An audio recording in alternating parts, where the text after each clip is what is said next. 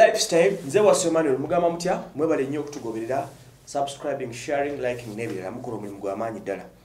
Ah, bannaffe aba people power nup ah, bafunye eh, enkikwe eh, oluvannyuma lw'okufiirwa ah, flag bearer mp abadde abakwadde flag wali mu bukoto central.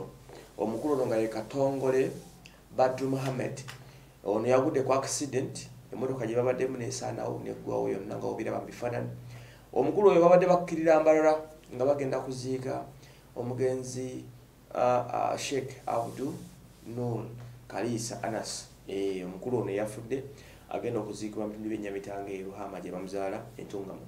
Munange jjukira olwali ebadde sapoti okubeera manifesto launch y'abanaffe aba nup naye bobi wine yasalawo postponinge olunaku lwa manifesto launch lubeere lwankya basobole okuba nga bawerekera aba nup basobole okuba nga n'abalala bawerekerako okuziika omugenzi na kalisa yes kalisa. Osobola okuba nga bamuziika olwaleero mu bitundu byentungamu munange bano bonna baba- babadde bamaze okweteeka mu ddene nga bakkirira mu bitundu byeyo embalala bagende baziike.